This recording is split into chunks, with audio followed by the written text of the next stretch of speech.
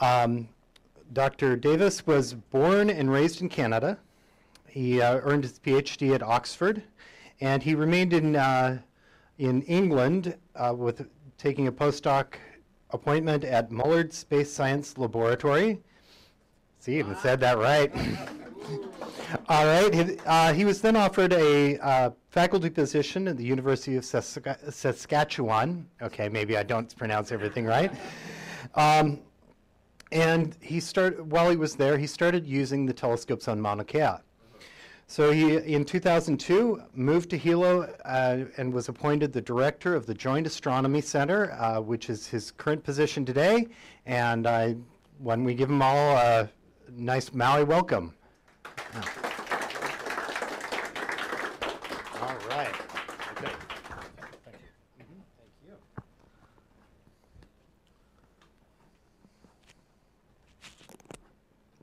My, my ears are a funny shape. So, so uh, thank you very much for that, JD. So, I've spent most of my professional life using the telescopes on Mauna Kea. I've never used any of the telescopes on Haleakala for any of my work. And so I've never had reason to come over here before. This might, I think this is only the third time I've been on Maui, the island. And I've certainly never been in this building before today. So it's a great pleasure to come over here and, and, and meet the people here and talk to you this evening. Um, so I'm going to take you through the tale as it, uh, as it says, and the tale of British astronomy in the Pacific Ocean, anyway, uh, begins obviously with this man, who needs no introduction.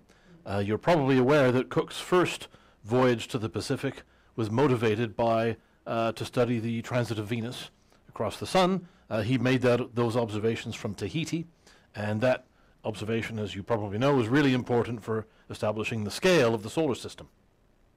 And it was on his third voyage to the Pacific that he encountered the Hawaiian Islands. He was the first European to do so. Um, and uh, Cook was also a not just a, a, navigator and explorer, but he was also a very fine um, surveyor and cartographer. And so this is the first map produced of the Hawaiian Islands, and it was produced by Cook. Um, the original wasn't colored, actually, uh, but this is actually this is the original chart of the Sandwich Islands, which is what he called them. And so we are here. Uh, I, now, I have a passion for astronomy, but I have a passion for antique maps as well. I love looking at old maps because they tell us so much about what, how the maker of the map viewed the world at that time. Uh, so I love this. I wish I had a copy, but I don't.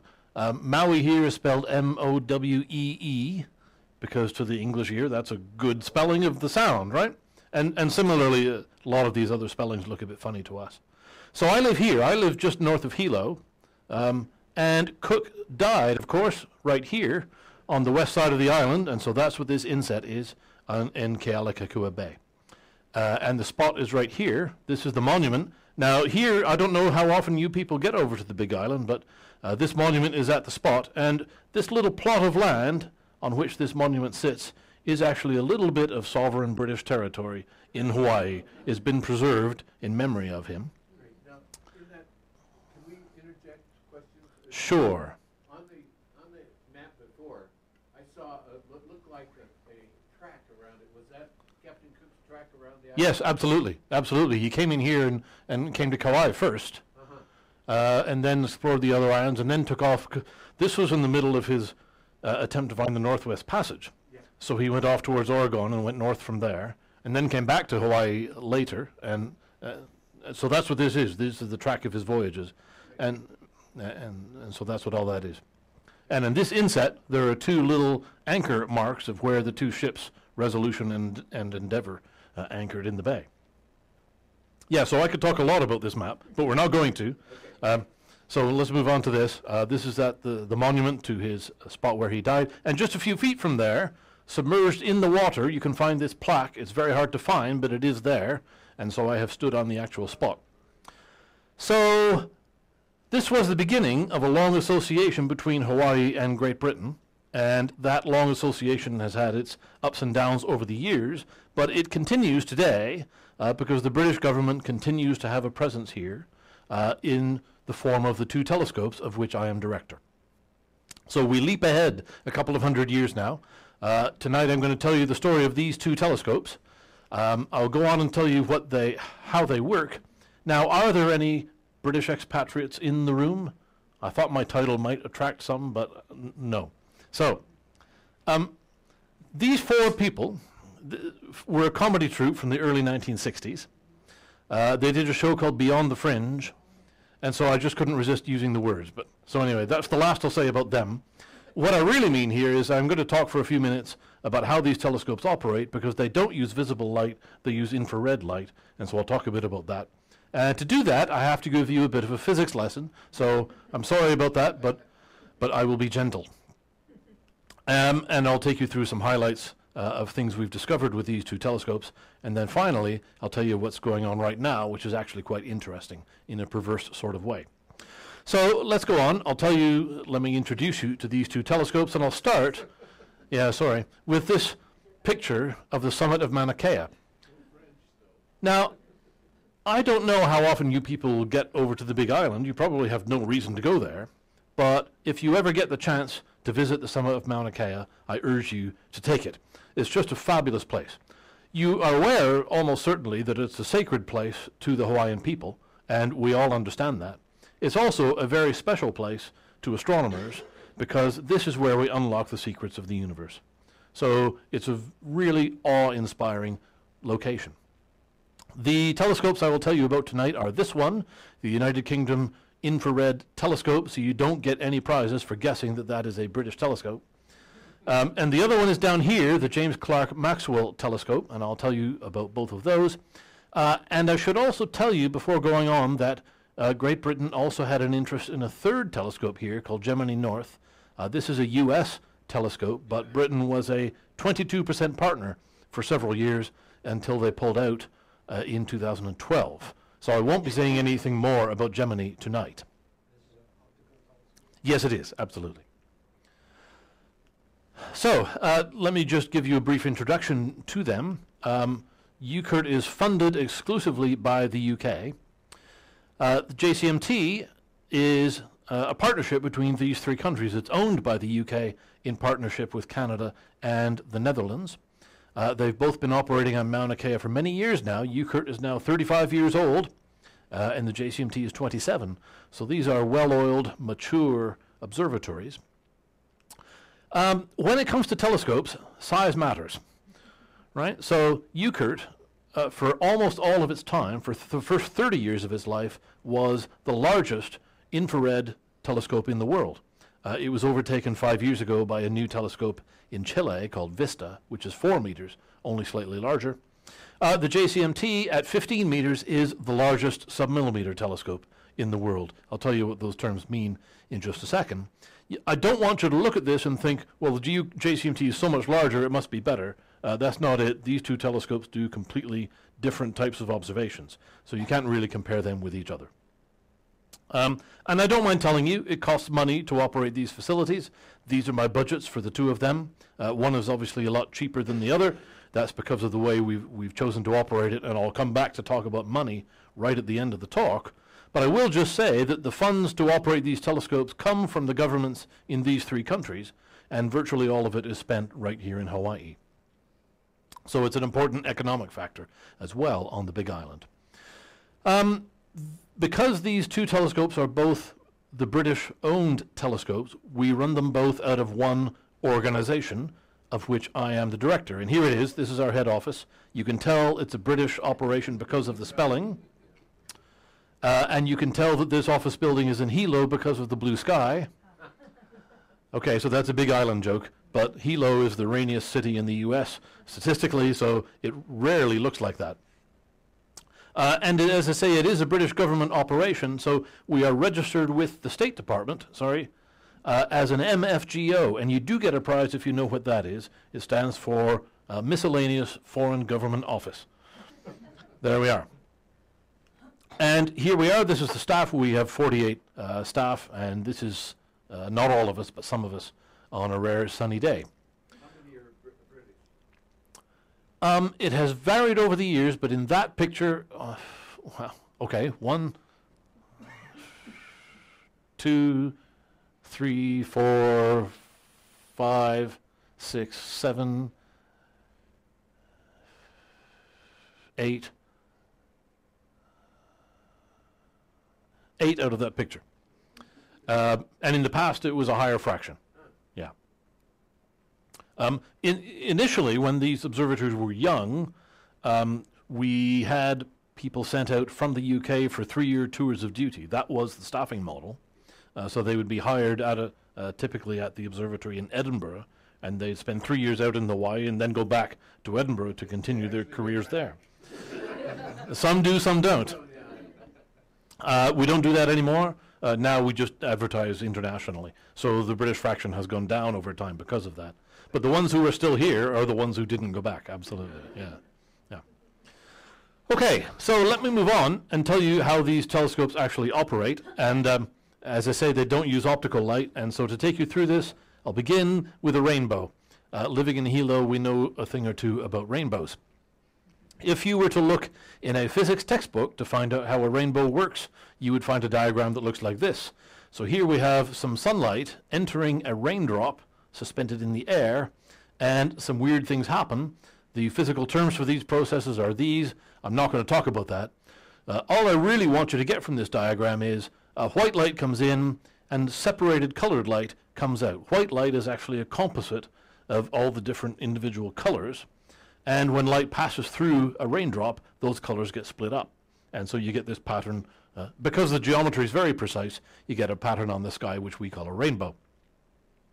That's the natural version of this. You can recreate this phenomenon in the lab. So here's a simple example. Uh, a triangular piece of glass, which we call a prism, will do the same thing. You can shine white light in, and you get a colored light out. We call this a spectrum, and every physics student memorizes the order of the colors red, orange, yellow, green, blue, violet. Those of you of a certain age will look at that picture and it will make you think of this picture. Aha, okay, some people are following, good. But I'm not going to talk about Pink Floyd tonight.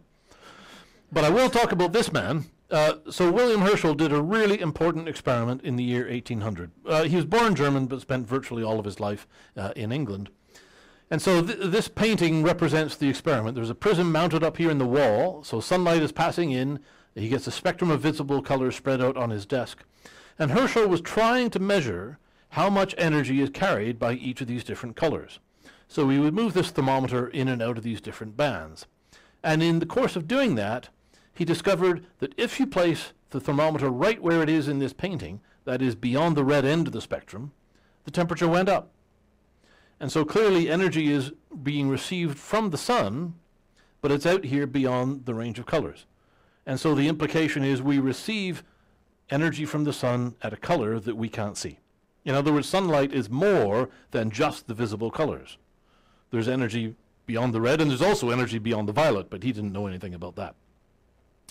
So Herschel's name for this type of energy was called calorific rays. Uh, this is related to heat. Uh, nowadays we call it infrared radiation, where infrared just means below the red. Um, now this painting always amuses me because it's so idealized, right? Anyone who's ever done a real experiment knows it doesn't actually look like that.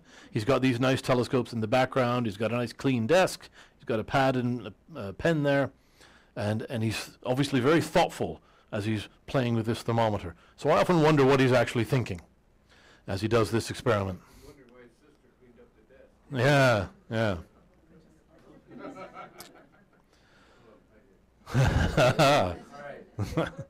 And could you repeat comments and questions for the yes, audience? yes, of course. Okay, so nowadays we know, of course, uh, that light comes in a wide variety of different types. Um, and following from that experiment, so this is another diagram you'll find in the physics textbook. We call it the electromagnetic spectrum. These are all the different types of light. And visible light that we know is just this tiny band here. Uh, if we go out beyond the violet end, we get ultraviolet light. We receive ultraviolet light from the sun. Uh, most of it is absorbed in the atmosphere by ozone, but not all. And the ultraviolet that reaches us at the surface can cause damage to your skin. That's why you wear sun cream. Uh, X-rays, of course, you'll all be familiar with. We use it for medical diagnostics as well as other things. Uh, gamma rays up here uh, are extremely energetic. As you go higher up here, the light is more and more uh, energetic, and as you go down, it's less energetic. So here's the infrared I spoke about before, and then we go through microwaves and radio waves. So these are all forms of light waves. The only difference about the visible region is that these are the only light waves to which our human eyes are sensitive. That's the only thing that distinguishes these light waves from all the others. So if I'm losing any of you, just think of these all, all of these different things as different colors. That's really all they are. Why am I telling you all this? It's because our two telescopes work in these different parts of the spectrum. They measure different types of light.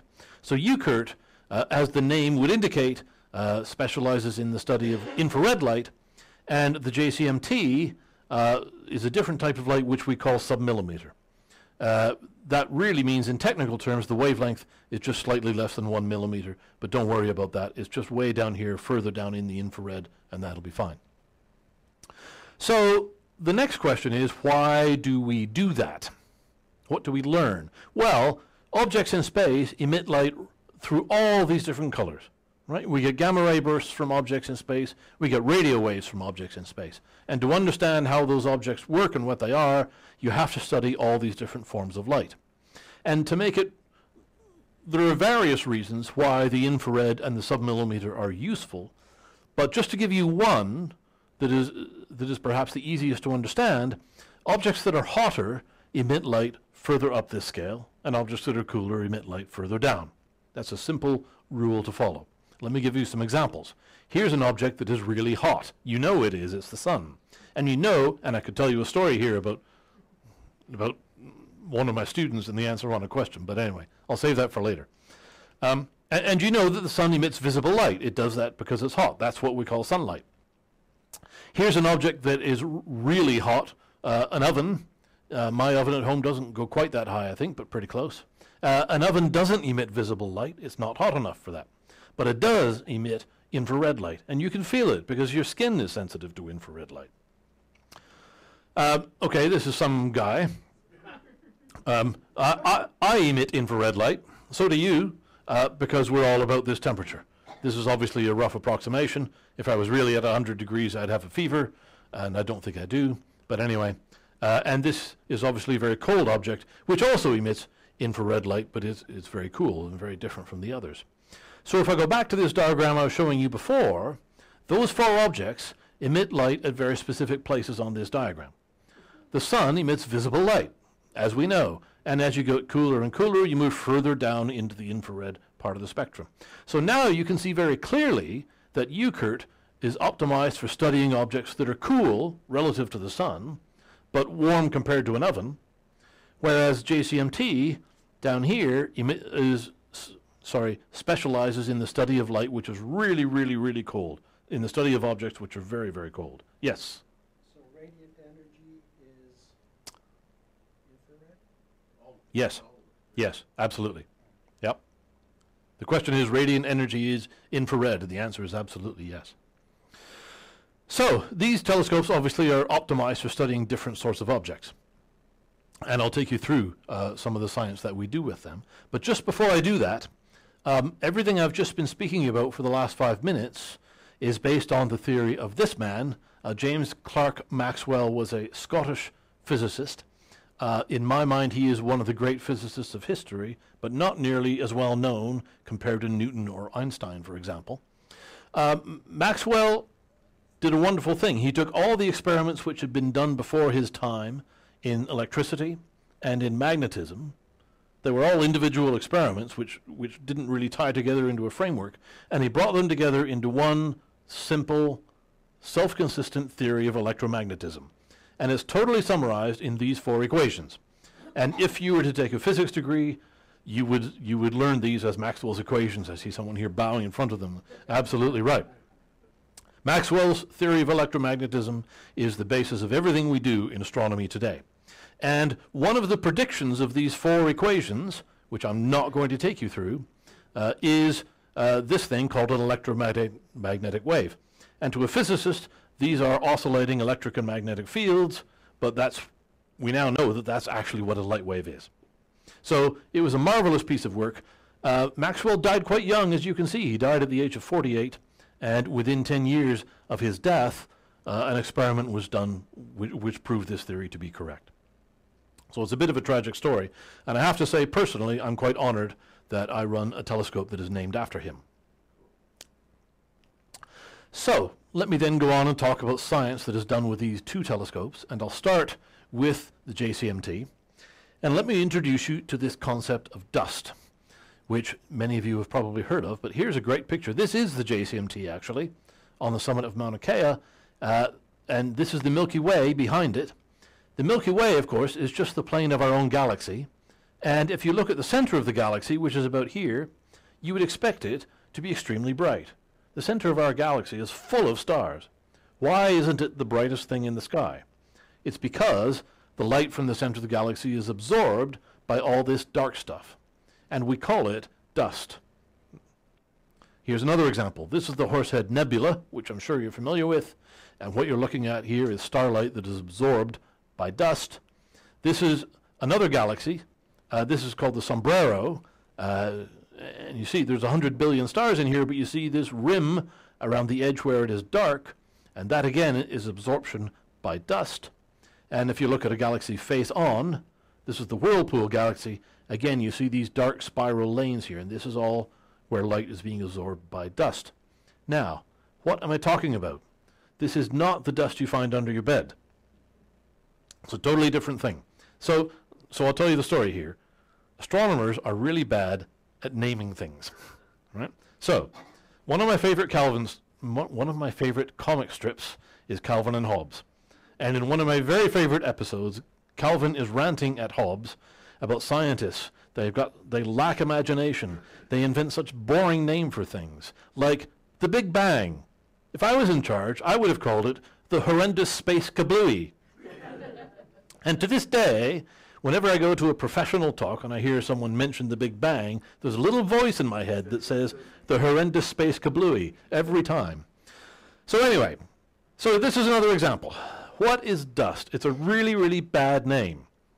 Dust is microscopic particles of solid material. There are materials that exist in the vacuum of space in the solid form, but they only form microscopic grains, so you can't actually see them. So this is just a representation, obviously.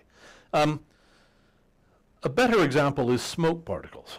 You know, if you see someone smoking a cigarette or what have you, you see the smoke. What is that? It's tiny solid particles, and you're seeing scattering of light off those particles. And this is very much the same sort of thing. So we could have called it smoke, but then someone would have said, well, where's the fire? You know, so, so you can't win. But anyway, so that's what it is. Um, and with JCMT, I told you earlier we study very cold stuff, and one of the things we study is extremely cold dust. So this is an example. This is one of my favorite images. This is, um, this is a, a ring of debris, dust-sized debris, around a very nearby star. Epsilon Eridani is only 10 light years away. That star in the middle is an artist's representation, because we don't see the star in submillimeter light. What we see is the cold dust around the star. Now, there is a cold ring of material around our own star. It's called the Kuiper Belt. It's a ring of debris out beyond Neptune, right? Way far out in the solar system, very, very cold. And so this is an analog of the Kuiper Belt around another star. And when this was discovered, it was thought that the clumps here, the clumpiness of this belt, might indicate that there are planets around this star in that gap in the middle. And in fact, we now know that there are planets around this star because we've discovered them using different techniques. So there you go. With, with optical light, you can search for the actual planets. With submillimeter light, you can look for the Kuiper Belt analogs. Do you know the temperature of that belt? Offhand, I don't, but typically, uh, the, temp- the temperatures of things we see is, what units do you want me to use? Well, I'm, uh, Kelvin, Yeah, 50 Kelvin.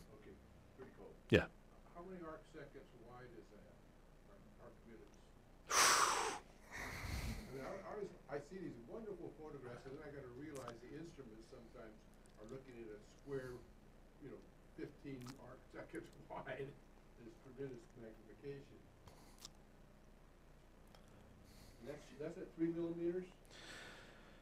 This is, thanks to self, this is an 850 micron image. Um, uh,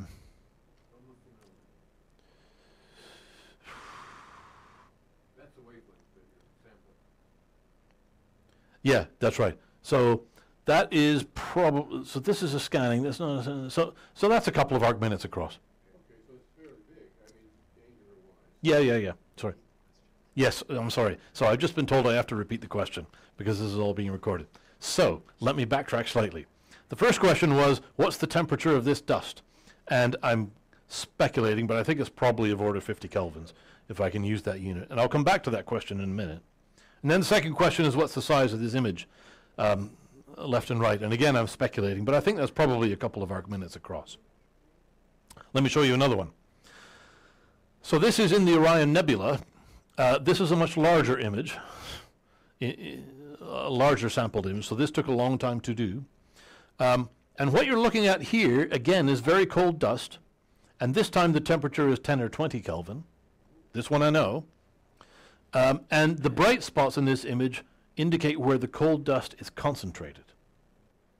So the brightness represents the density of material, but it's all very cold dust. Uh, so what this really represents is regions where stars are in the very earliest stages of forming, right? It's a very, very cold clump of dust which is collapsing under its own gravity.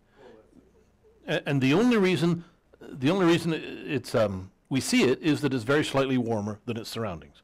Do we see it as warmer because? One at a time. no, it's fine. Do we see it that it as warmer because it is warmer or because it has higher emissivity? Right. The question is, do we see it because it's warmer or because it has higher emissivity? And the answer is, we see it because it's warmer. Right? Even though it's only 10 or 20 Kelvin, that's warmer than everything else around it. Right? The background of space is 3 Kelvin. Yeah. So that's what we're trying to do. Oh, yeah. Th- this is actually a clump, and there will be several stars that form out of this. It's not two individual stars forming. Right? It, it, it's a clump. There will be many stars that eventually form out of this. Yes. So you speak of this dust, is it primary uh, crystalline? Is it crystals? Or matter? They're too small to be crystals. There aren't enough atoms to form a, a, a stru- Sorry, the question was, is, is the dust actually crystals? And they're too small. So a crystalline form uh, requires many, many more atoms to actually form the right shape than we have in these particles of dust. Yeah, they're, they're irregular shape, irregular in shape. And is that dust the remains of supernova explosions? Yes. Now, I wasn't going to talk about that, but this is a good question. Where did the dust actually come from? Question? Yes. Uh, where did the dust actually come from, and is it a remain of supernova explosion? And the answer is yes. Absolutely. So du- the dust is composed of heavy elements. It's not hydrogen and helium, right? And so, as you may know, everything heavier than hydrogen and helium has to form somehow, not in the horrendous space kablooey, but in some later process. Some of them are produced in fusion processes inside stars and are rejected into space when a star dies, and that can be through a supernova or something else. Yeah, so that, that's where the materials that make up the dust come from, absolutely. Okay, so I was just going to show you this picture as well, which is much the same thing, but this is the center of our galaxy. I showed you a picture of the center of the galaxy earlier in visible light. This is what it looks like in submillimeter light. Uh, it's much further away, obviously. And it's the same thing. The bright spots here represent clumps of very, very cold dust. There's a huge amount of structure there. But this is, let me go to my favorite um, image with JCMT. So the Hubble Deep Field is one of the most famous images ever taken in astronomy. I'm sure you've all seen it. I see lots of heads nodding. This is good. This was taken around, um, actually the date is on here, 1996 this was done. Um, and the director of the Hubble Space Telescope at the time decided to take, I can't remember, eight or nine or ten full days to stare at one spot on the sky. And he chose a spot which was free of foreground stars. The objective here was just to stare at this spot and see how deep can we go. What are the most distant objects we can see? And this is what came out. And I remember this when this image was uh, produced, and it's absolutely stunning if you get up close to it with a much higher fidelity image than I have. So this object here is a star, but everything else you see here is a galaxy. And so just think about how far you're looking there. Yeah. Just before the lens was corrected? Is it, the question was, is this before the lens was corrected? And I, I think that was 1998 that that was done. So the answer would be no. But I couldn't swear to it. Uh, there are about a thousand galaxies in this image. If you look at the very same spot of the sky with submillimeter light, you see this. It could not be more different. So let me explain to you what's going on here. The first thing you'll notice is that this is really fuzzy compared to this nice, pretty optical image. Uh, the fuzziness is what we call diffraction. I would have to give you another physics lesson here, but we know exactly what that is. Doesn't mean anything's wrong. Uh, that's just because of the size of the telescope. The only way to get round that problem of diffraction and produce a crisper image is to get a bigger telescope. I said earlier, size matters. And it does in astronomy.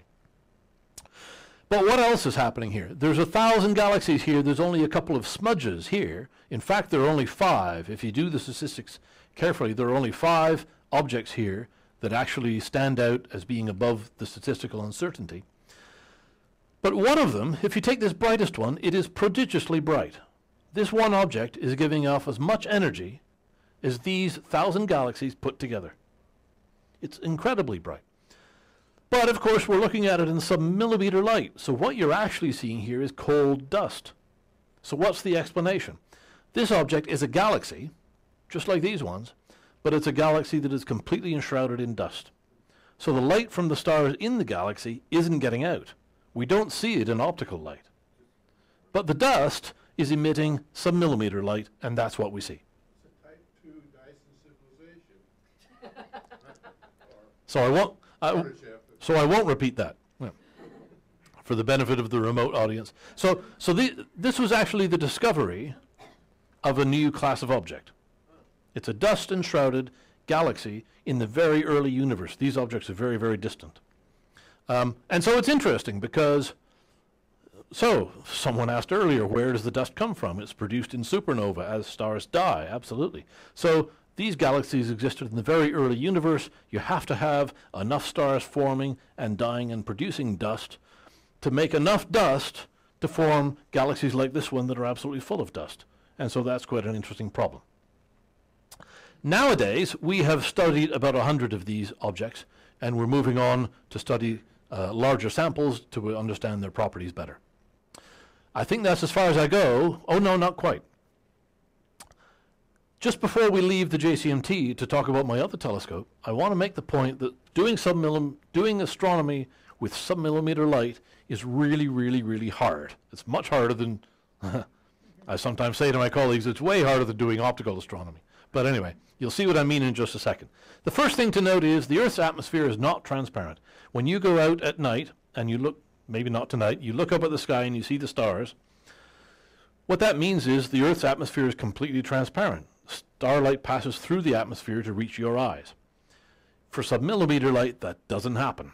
Most of it is absorbed in the atmosphere above where you are. If we were just, if you had submillimeter eyes and you went out there and looked up, you wouldn't see a thing.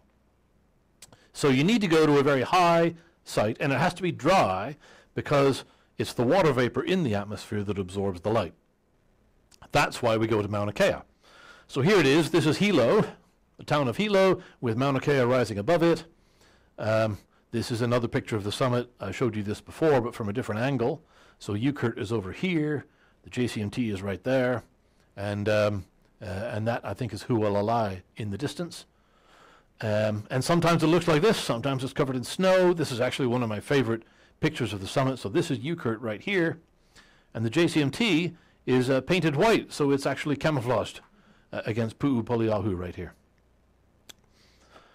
So that's the first thing. We have to go to a high dry site, and this is why we come to Mauna Kea to do this kind of astronomy. There are very few places on Earth where you could do this. The second thing is, submillimeter light is very low energy light, if you think back to my talk about uh, Herschel earlier. And to measure it, you need very, very specialized devices. And it has taken years, it has taken decades to develop the technology to the point where we can measure submillimeter light now to take those images I showed you. So, practical astronomy, and here my, my optical astronomer colleagues will agree with me, practical astronomy is all about measuring light in the most sensitive way that you can. So we need specialized devices, and this is the camera that was built for JCMT that made all those images I have just shown you. It was called Scuba, and it was operational for eight years for this period, and it was a revolutionary device. It was the world's first submillimeter camera, which made all those discoveries possible. It has been succeeded by a new camera called, imaginatively, Scuba 2, which started working in 2011, and so we've moved from an orange can to a big blue box. Um, this camera, I can tell you, uh, in my time as director, has caused me a lot of um, anxiety uh, because it was several years late. There were technical difficulties with it. It was very expensive. I don't mind telling you, this camera cost $25 million to build, and it's the only one of its type in the world. Uh, tell us what's inside, I hope. I wasn't planning to, um, but I will. So the question was, you're going to tell us what's inside, I hope. Um, so most of what's inside that box is associated with getting it cold. Now, this is a really good question, actually, because I'm measuring, we're trying to measure light from cold dust. To do that, you have to have something which is really, really sensitive, and, and it has to be even colder. So the actual devices in here that sense the light and turn it into electrical signal are cooled to 0.1 of a degree above absolute zero. And so a lot of the volume here is the technology to make that happen. Yeah. So that's partly why it's expensive, right? I mean, this is really tough to do. So, um, well, just in case you're interested, the actual super, the actual detecting elements here are superconductors. Um, and if you, if any of you know anything about superconductors, we bias them right at the transition point. So if they receive a little bit of light, they warm up slightly, and, and so the resistance goes up. And so that's how we do it. And that's, that's an array, I Yes, yeah, the question was, it's an array, and yes, don't know, 500 or i- it's actually, um, it's about sixty by sixty, yeah, yeah. And uh, as I say, these are the only devices of their type in the world, they were custom designed and built for this purpose. Okay, so let me move on and talk about my other telescope, and I won't take as long this time. Uh, UKIRT is an infrared telescope, so we study different sorts of objects, and we use infrared light to do that. I'll just give you a few examples in this case. This is a device known as a brown dwarf, so I've used Fahrenheit here. I don't think in Fahrenheit, but, um, but I do know that's roughly the temperature my oven at home goes to. So a brown dwarf is an object that forms in exactly the same way as a star does. It's mostly hydrogen and helium, but it doesn't have enough. It just doesn't have enough fuel. That means the center of the star never gets hot enough for nuclear fusion to start. So it's made of the same stuff as a star, it just doesn't burn. And so it is it's just gravitational, absolutely right. And so over time, it just cools off gradually. And so that means it's cool, it's faint, and therefore it's hard to find. And so we use infrared light because they're cool, um, and finding them is difficult. But this is one, and at this point, when we found this, which I think was 2006, this was the coolest brown dwarf ever detected. Um, that record has since been overtaken by a satellite mission called WISE, which specialized in finding this sort of thing. But we were very excited about that when we found it. That's technically very difficult to do. Let me give you an example at the opposite end of the universe. So I'm sorry, I've used the letter Z here, and because I'm British, I'll say Z, um, but to you that would be Z. Um, and so this is an experiment very much like the Hubble Deep Field I spoke about earlier. With UKIRT, we have picked out one patch of the sky, and we've stared at it for a long time. So any of you who are photographers will know that if you uh, if you lengthen the exposure time and take a picture, you get uh, you can uh, get the the uh, the fainter objects uh, in in your picture because you gather the light over a longer period of time. And this is exactly the same principle, except that we've opened the shutter here for I think 700 hours to study this patch of the sky. And the purpose of doing that is to try and uh, observe very, very distant galaxies. And so to blow up one small region, look at this. Here's a very nearby galaxy, but every single speck of light you see there is a galaxy. So this survey is called the Ultra Deep Survey, uh, and it is the largest sample of very distant galaxies uh, ever taken. Yes, there's a question at the back. I'm sorry for my novice question, but okay, I'm imagining um, a spaceship going through the brown dwarf. It's very hot, and you can't see it with this wide, correct?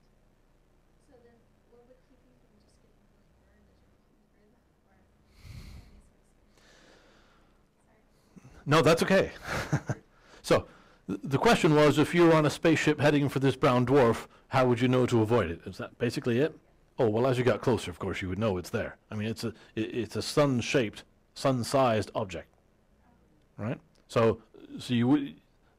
You'd see it pretty clearly if you were getting close to it. Yes, yes, but only faintly because it's cool. So it does emit visible light, but not as much as a hotter object like the sun. So, so it does emit some, right? So you would never find it with an optical telescope on Earth because invisible light is just too faint, right? But if you were close to it, you'd see it. Yeah, no problem.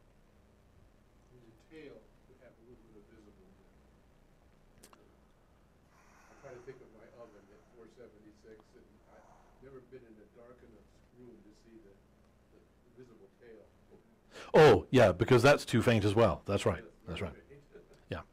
Okay, so let me go on. Um, here's an even more distant object. This is a quasar. A quasar is uh, a prodigiously bright object, which, as I'm sure you know, um, occurs when material falls onto a supermassive black hole. They are very distant as a rule.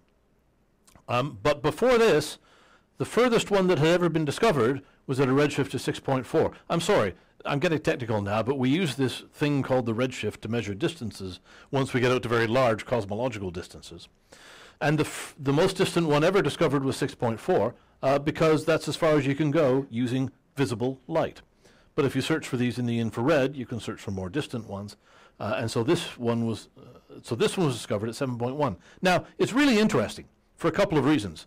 First of all, it indicates that a supermassive black hole existed very, very, very early in the history of the universe, less than one billion years after the, after the horrendous space kablooey. And, uh, and, and that's a bit of a puzzle as well because a supermassive black hole is a hugely massive object. You know, how do they form so quickly? So that's the question there. The other question is, why have we only found one? It took us five years of a survey with UKIRT to find this object, and to this day, it's the only one that's been found beyond this limit of 6.4 that you can do in the optical. So there's there's some serious questions around this that we don't understand. And astronomy is great because every time you discover something, you have another question to ask. Uh, and just one more example: this object right here, this is the afterglow of a gamma ray burst. And in a gamma ray burst, as you may know, is a very energetic uh, thing that only lasts a couple of seconds. But and so the essence of gamma ray burst research is to find out what happened, and so to train the telescope on it very, very quickly to measure the afterglow of the event.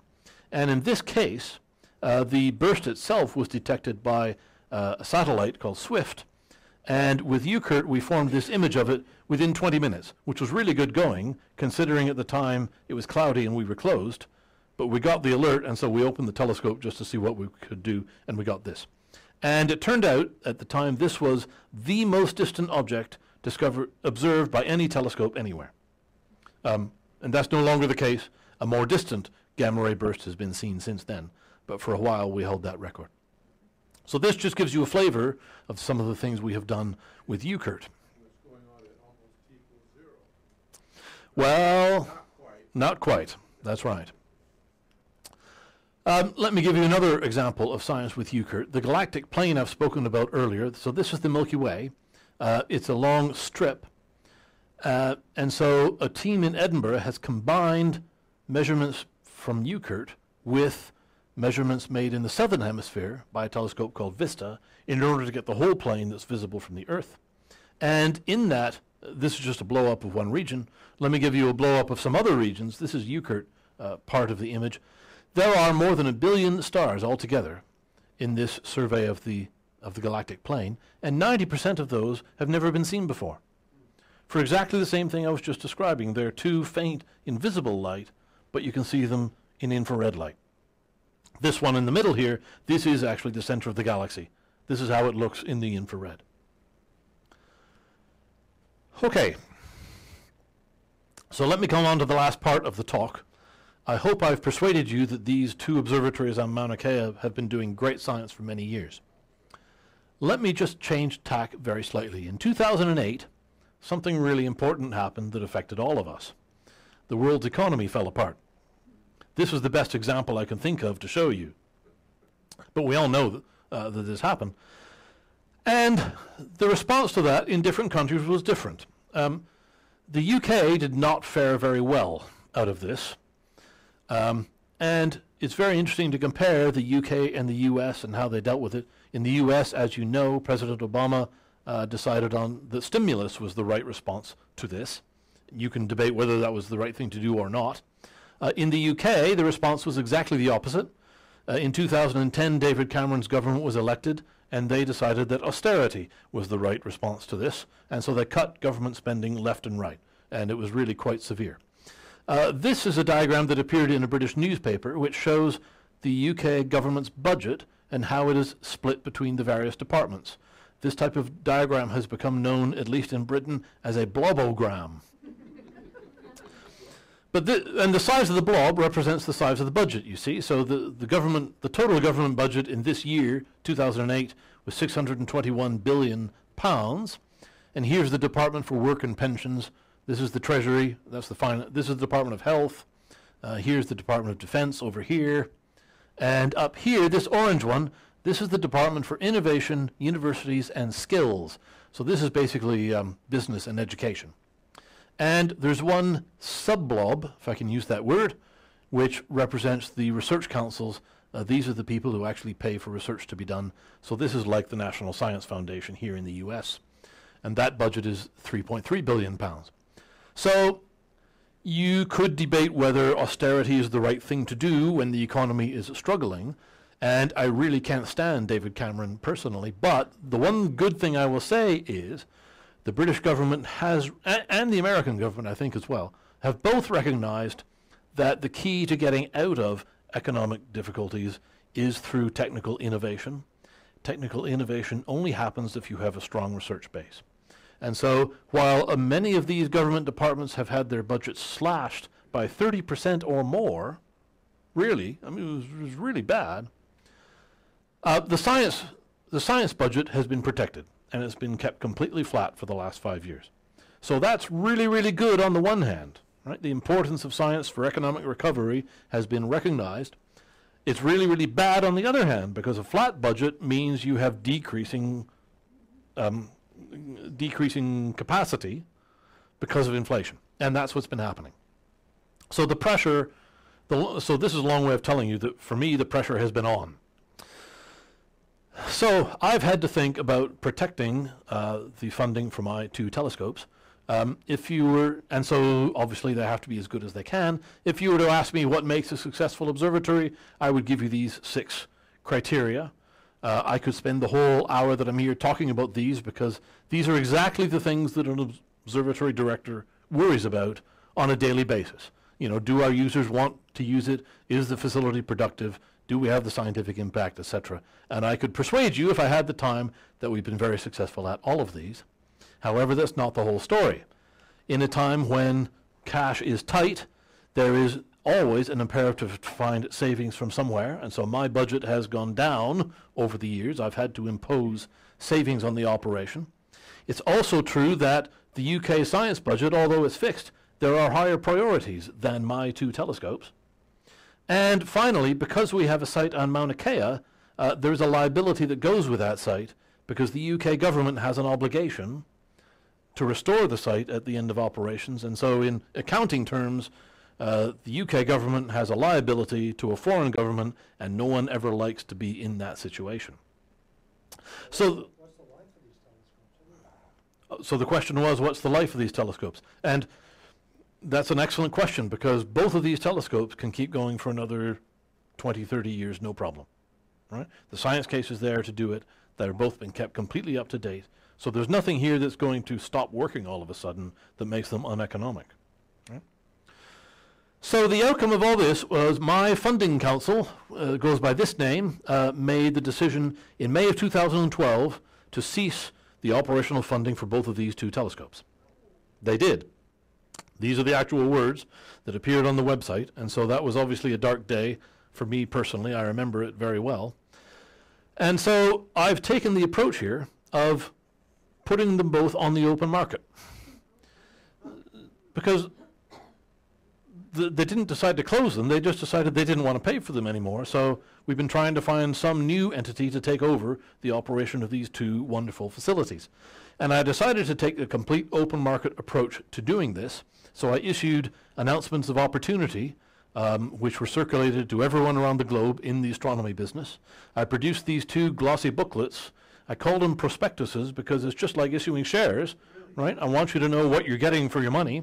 And by the way, we're not selling these two telescopes. You can have them for free, right? All you have to have is the money to operate them. You could have these two telescopes. Well, I mean, that's one model, right? I mean, that's not the way we do it, but you could rent out the time and make money that way. Absolutely. Yes. Question in the back. You would also have to have the money to decommission and return the device. Yes, yes. Now that is the critical point that I was alluding to on the previous slide. So the question is, don't you also have to have the money to decommission them and restore the site at the end of their life? And that's absolutely true. Uh, however, I wasn't going to mention this, but since you raised it, the deal here, and it's stated very clearly in these booklets, whoever takes on these telescopes will get a check from us to cover that because we hold the liability at present. Right? If you wanted this telescope, you wouldn't take on that liability without some compensation. Yeah, but don't you have a bond that was posted at the beginning? The question was, don't we have a bond that was posted at the beginning? And the answer is no. There's an agreement, there's an agreement, we've signed an agreement that we will decommission and restore the site. So the UK government is liable. It's not in a bond, it's just an accountant line somewhere. So that's right. So whoever takes these over is going to get a check from us to cover that liability so that we're clean of it. Yeah. So it's the deal of the century, really. Any interest so far? I- I'm coming to that. Yeah. So just hold your horses. So let me just say a word about the legal framework for this. It's complicated because of the um, situation here in Hawaii, but the University of Hawaii is stepping up to the plate and helping us make this happen. So we are going to terminate our existing sublease for the site, and then UH will set up an agreement with a third party to operate these two facilities, and it's going to be done separately for each of the two telescopes. For UKIRT, I can tell you that the third party is, wait for it, a partnership between the University of Arizona and Lockheed Martin, the aerospace company. Now, the University of Arizona it has one of the largest astronomy departments in the country. So it's entirely appropriate that they should get involved in, uh, in Mauna Kea. They don't have any facilities there. And Lockheed Martin, I've learned to my benefit, uh, has uh, a group that is, uh, that is just a research group, and they're interested in studying um, uh, space debris.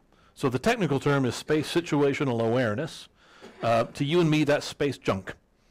Uh, because they've realized there's a commercial niche for them. The company that knows where the space junk is and knows what it is controls the navigation lanes through space. And uh, so that's their commercial interest in this. So a lot of the work that will be done with UKIRT in future is uh, space debris and uh, near-Earth objects, which is what the University of Arizona is interested in. So that's all going ahead. Uh, the legal part of this has been very difficult, as I've indicated. There's nine legal agreements, and lawyers are involved, and it's all taking much, much, much longer than I would like. So when I wrote this slide, I thought we might get this done by the end of August, but with each passing day, I'm becoming increasingly skeptical. But anyway, that's what's happening. Yes. Are you part of the package deal, or can the new partners just bring in their own people? How, how does this all, how does, how Well, yeah, so that's a wider question. So the question was, am I part of the package deal? But, but the wider question is what happens to the current staff, right? So I showed you a picture of the staff earlier. So the basic principle is that when we leave, when STFC leaves, we will lay off all the staff, and they will all be rehired by this new outfit, right? I have to lay them off. They're employed by us. We're leaving. Um, so, but the new people taking over the telescope be, would be mad not to keep the people who have all the experience and all the knowledge. So formally, they'll be laid off by us and hired again by them. Just a paper. Yeah, yeah. Now, that's UKIRT. Let me tell you about the JCMT, which is even more interesting. The response to JCMT has been this. So, a new partnership is forming, and it begins with these four institutes, which, if you look through, these are all in East Asian countries. This is Taiwan, this is in China, this is South Korea, and this is Japan. These four countries have looked at the example of what's happened in Europe with the formation of ESO, and they've realized that they can be more effective working collectively than working individually. And so they have formed an umbrella organization called EACOA. And they have proposed to take over the operation of the JCMT. Now, this is really interesting because some of these countries are shooting at each other. You know, you know, they're in dispute over bits of barren rock in the ocean, but and so in talking with my astronomical colleagues, you know, they've said to me, we believe we can demonstrate to our governments that we can work together. And that has to be a good thing for the human race, not just for astronomy. So the plan is that JCMT will be transferred to this new outfit called EACOA. That again requires a number of legal agreements that we are now working on, and we hope to get that done by the end of October. So when this happens, the British presence on Mauna Kea will come to an end. And it is actually quite sad. So the nearest analogy that I can think of is this. This was in July 1997, and this is the ceremony by which uh, Great Britain returned Hong Kong to China at the end of a 150-year lease. It was terminating a lease. This is exactly what we're doing. You know, it is actually quite similar. So this is uh, this is Prince Charles. That's Tony Blair, who was prime minister at the time. Uh, this is Chris Patten. He was the last British governor of Hong Kong. And as part of this ceremony, the Union flag was lowered and handed to him. And I remember watching this on television, and he had tears in his eyes at the time. It really was a very emotional um, occasion. And I think it'll probably be quite emotional when when uh, when we leave uh, Mauna Kea as well later this year. And when that happens, this will be the last vestige of the long British association with Hawaii, this little plot of land with Cook's Monument. And so I'll stop there. Thank you very much.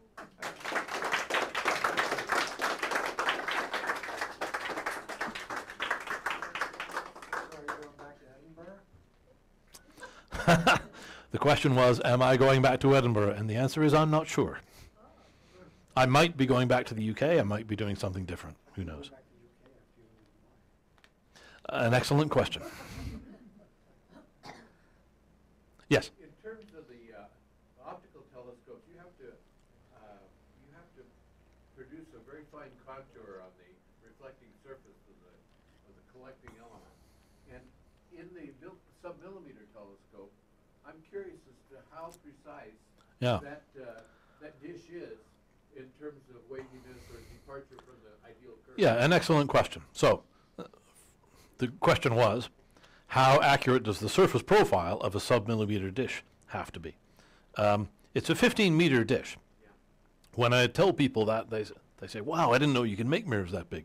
And the answer is it isn't an optical quality mirror, right? So you would not want to shave in it, for example. Uh, if you were to look at it in, if you were to go up and look at it, it's, it's got bumps on it, you know, where wrenches have dropped on it and things. So radio telescopes are strictly mechanical things, and they don't have to be very accurate at all. Optical telescopes are extremely accurate. We're in between. So an optical telescope has to be accurate to to mi- you know less than the width of a human hair, is typical. Less than the wavelength of light. But yeah, but but a submillimeter telescope, uh, ours is accurate to about 22 microns, if that means anything to you. So it is, it's a complicated system because our, I didn't even show you a picture. The JCMT's dish is actually made up of a number of segments. Uh, each of those segments has adjusters on the back. So we measure the profile of the dish using an optical technique, and then we adjust each of the segments to maintain the figure. Yeah. So although it has little bumps, uh, averaged across the surface, it's accurate to about 22 microns. Yes. Yeah, absolutely. Okay, tell me, point one degree Kelvin is minus how many degrees Fahrenheit? What's absolute zero in Fahrenheit? Does anyone in the room know? 459. So it's minus 459. Yeah. Fahrenheit. Yeah. Yeah. Okay. So uh, let me backtrack. The question was, if those detectors are at 0.1 Kelvin, 0.1 degree above absolute zero, what's that in Fahrenheit, and how do we get there? Yeah. So it's complicated technology. It uses. We start with helium. Uh, liquid helium gets it down to about 4 Kelvin, 4 degrees above absolute zero. After that, we have to use an isotope of helium called helium-3. This is a form of helium which only has two neutrons in the nucleus instead of, only has one neutron in its nucleus instead of two. And it has a lower boiling temperature, so we get down to about 2 Kelvin that way. And then we use a device called a dilution refrigerator, um, which is a complicated beast that even I don't completely understand. But basically, you, it uses um, when you when you evaporate a liquid, um, heat is heat, heat is absorbed in the process of that. If you take a liquid and you repeatedly condense it, heat is released. So you just keep condensing the helium three, and you take heat out of it. That's right, and it cascades down till you get to point one. That's right. Yeah. Actually, the coldest point in that fridge is is, is less than is 0.05. Yeah. So how do you, what kind of power do you use up there? How, how do you, It's all electricity. I know. Yeah. Where does it come from? The grid? Yes, from Helco. Oh, so th- so here's another question. When, when we installed that, that fridge, my electricity bill doubled. Yeah, because we consume a huge amount of electricity condensing the helium to keep that thing cold. It's weird, isn't it? Because you're trying to get something really cold, and you and you're filling it with, with energy from electricity all the time. But yeah, So your electricity bill must be seventy, eighty thousand yeah, it's large. What's the surface of your microwave reflector? Is it aluminum or? What's the surface of the microwave reflector? I was asked, and the answer is yes, it's aluminum, but the actual segment is a very complex sandwich pattern.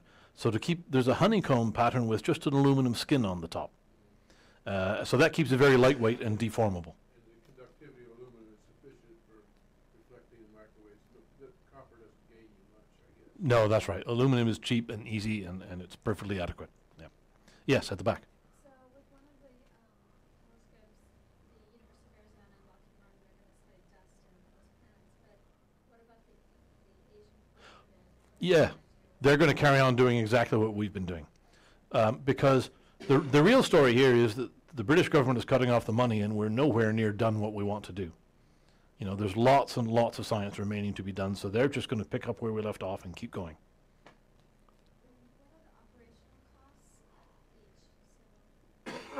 Oh, yes, I had that right at the beginning. Uh, for UKIRT, it it's just over $1 million a year, 1.2.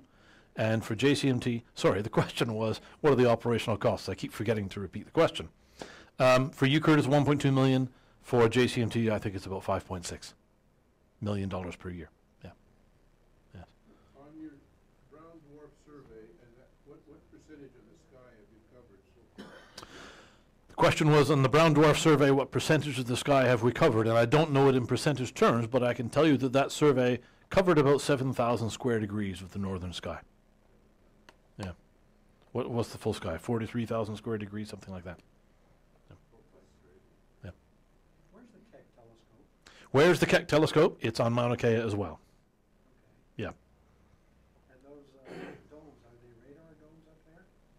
No, those are telescopes. They're all telescopes? They're all telescopes.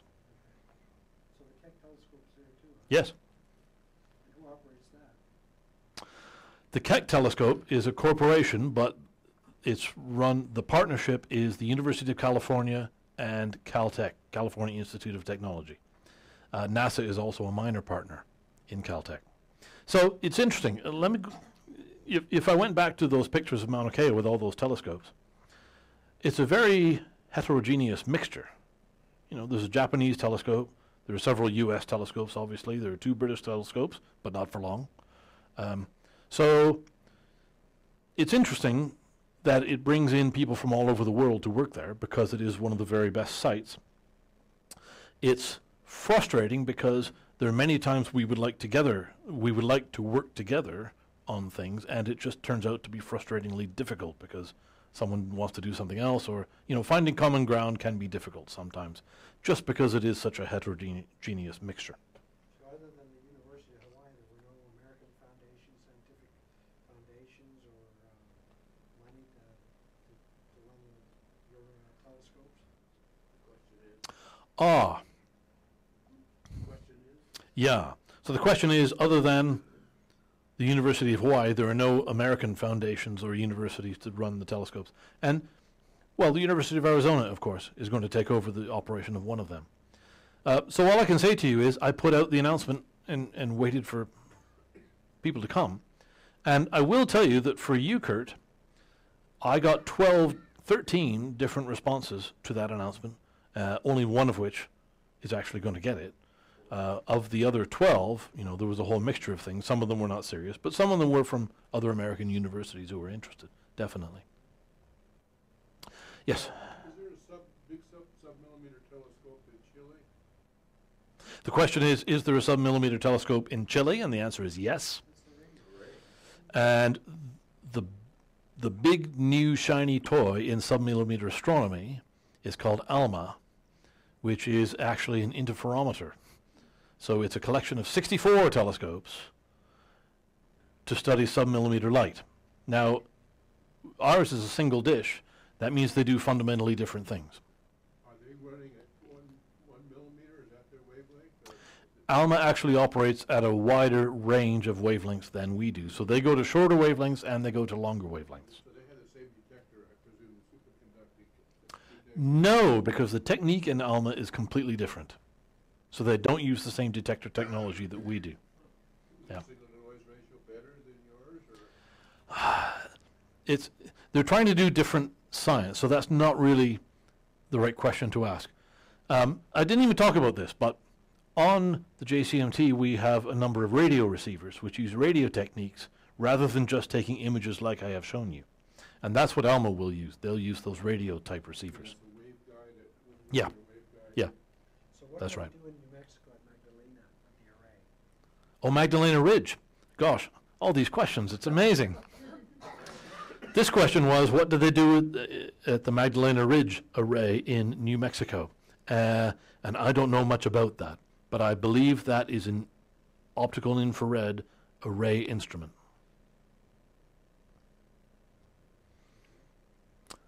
Um,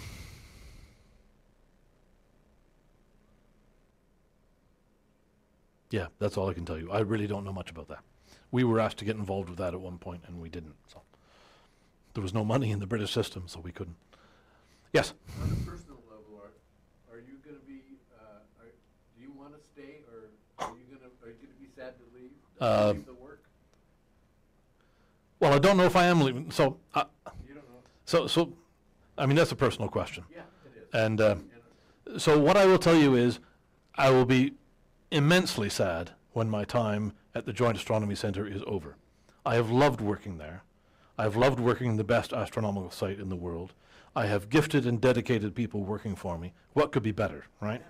And whatever I do after this, it won't be as good as what I've been doing. Okay, thanks. All right?